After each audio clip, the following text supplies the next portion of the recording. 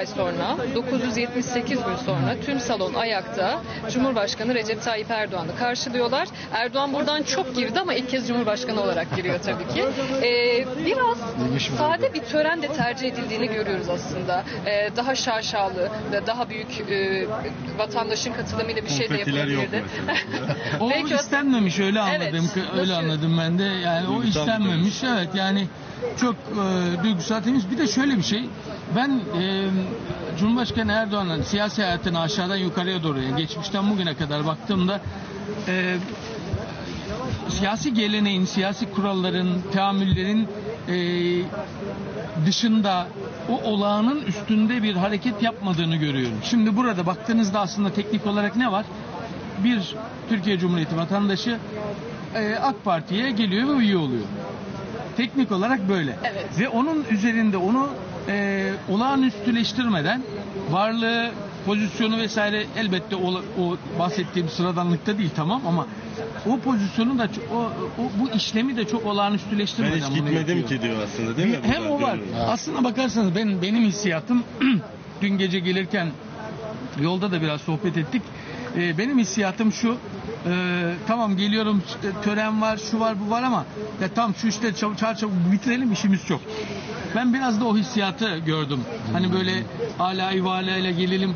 Bu işin kendisi bir vaka, bir olay, bir iş, bir proje değil. Asıl bundan sonra olacak. Bir an önce bitirelim ve işimize bakalım havası da var. Diğer partililere de bir mesaj gibi yorumlanabilir mi sizce e, bu sade tören? O, onun için e, ne dersiniz? Hani çok da böyle tabiri caizse göze sokmamak adına da e, yapılıyor olabilir mi? Çünkü referandum sonrası artık hayırcılar da kazandı, evetçiler de kazandı. Böyle bir değerlendirme yapılabilir mi sizce? Belki de ondan, ondan da olabilir. Yani bu dediğinizi düşünmemiştim doğrusu ama buradan bakınca e, hani partiye tekrar geliyor olması parti devleti eleştirileri vesaire falan İşte vardı. Cumhurbaşkanı sıfatıyla da geliyor. hani ben onu çok dert ettiğini düşünmüyorum Cumhurbaşkanı'nın. Çünkü o sonuçta kendisinin ne düşündüğüne bakıyor, başkasının ne dediğine bakmıyor. E, kendisinin öyle bir niyeti ve e, projesi yoksa bunu çok umursamaz ama birilerine bundan rahatsız olabileceğini düşünerek de bunu yapmış olabilir. Sırf e, bu algıya dayalı bir e, hassasiyet, gereksiz hassasiyet oluşmasın diye. Siz ne dersiniz Bu, Bülent Aydemir? bu, bu dönüş önemli. Yani şimdi e, Milliyetçi Hareket Partisi ile yürü- yürütülen müzakerelerde, AK Parti'nin yürüttüğü müzakerelerde işte 2019'a bırakılması, e, Cumhurbaşkanlığı hükümet sisteminin e, kalan 15 maddesinin 2019'a bırakılması konusunda Milliyetçi Hareket Partisi'nin ısrarı vardı.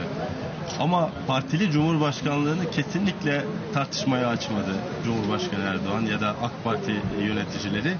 Neden? İşte asıl mesele buydu. Aslında biz- Başbakan söyledi Evet. ya zaten en biz önemli anayasa değişikliği o- olmayabilir. Hani AK Parti'nin parlamentodaki aritmetiği buna yetmiyordu tek başına. Milliyetçi Hareket Partisi destek vermeseydi.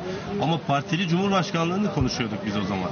Yani buna bile aslında e, eğer bir kapsamlı anayasa değişikliği yapılamayacaksa partili cumhurbaşkanlığı olsun den- deniliyordu. Bu mevcut durumu anayasaya uydurabilmek için halkın seçtiği cumhurbaşkanı. Dolayısıyla bu aslında ilk e, round diyelim, ilk dönüm noktası. E, bu bile Erdoğan'ın e, siyaseti yeniden e, kendi siyasetini ayağa kaldırma, hata geçirme konusunda yeterli olacaktır. Keza teşkilatlar dedik az önce. Teşkilatlar çok önemli. Çünkü AK Parti ve Erdoğan, Cumhurbaşkanı Erdoğan taban siyasetine önem vermiş bir isim. Burada gençler önemli, burada kadınlar önemli, mahalledeki e, sıradan vatandaşlar önemli. Onlara ulaşabilmenin en önemli yolu da AK Parti'den, teşkilat siyasetinden geçiyor. Her ne kadar ülke yönetiminde büyük projelere imza atsanız da, büyük işler yapsanız da halka eğer uzanamıyorsanız, dokunamıyorsanız bir sonuç alamıyorsunuz. İşte referandumda gördük e, 55 ve üzeri denilirken bazı teşkilatlarda yorgunluk olduğu için ya da bu sistemi anlatamadığı için problemler yaşandı. İşte onları onları tesis etmeye ve yeni bir e, siyasete yeni bir soluk getirme amacıyla burada e, Erdoğan Sayın. E, aşağıdaki tören başladı. AK Parti Genel Başkan Yardımcısı Mustafa Ataş konuşuyor. E, ekranlarda da Cumhurbaşkanı da Başbakan da eşleri de yanında. E, az önce e, dediniz ya Veys Ateş acaba haleti ruhiyesi de ilginçtir diye. Başbakanı da konuşalım mı biraz? Başbakan Binali Yıldırım'la ilgili de bir parantez açalım. E, bu sürece gelinmesinde kuşkusuz en büyük katkı e, galiba Sayın Başbakan'da değil mi? Neler söylersiniz bunun Bugüne kadar e, sevgili seyircilerimizle biz Ankara'daki, İstanbul'daki meslektaşlarımızla Ee, en çok Sayın Başbakan'ın rahatlığına, e, esprilerine, hep doğrusu çok hoşumuza gidiyor. Neden? Ee, hep güler yüzlüydü. İki hani bu hatta e, bir, bir yurt dışı seyahatinde galiba son seyahati da Almanya seyahatiydi. Ondan sonra bir daha olmadı referandum sürecinde. Ee, tekrar buradan kalksam işte Erzincan Kayıköy müydü? Erzincan Refahiye Kayıköy'üne tekrar dönsem hiç yabancılık çekmeden kaldığım yerden devam ederim demişti. Ee, sahiden yani başbakan kendi bakanlığı döneminde danışmanlığı dönemini hatırlayalım. O zaman ben de Ankara'daydım. Yani hiçbir zaman böyle bir e, şey olarak görmedi onu kamuoyu. Ee, ya acaba işte eliyle kendi elleriyle hem genel başkanlığı verirken bir sıkıntı çıkar mı sorusu bile akıllara gelmedi. Çünkü Emaneti sahibine teslim ediyor ya halel getirmeden Evet, gibi değerlendirilebilir evet, mi? Hatta bununla da e, gururlandığını da söyleyebiliriz Sayın Başbakan'ın. Dolayısıyla e, o röportajda söylediği Sayın Cumhurbaşkanı bir kez daha tekrarlayalım. E, yol arkadaşlığı eskiden beridir arkadaşlığında e, hiç şey yapmadan, sekteye uğratmadan, ıskalatmadan, yüzünü düşürmeden e, işte efendim şu kongreyi yapacağız.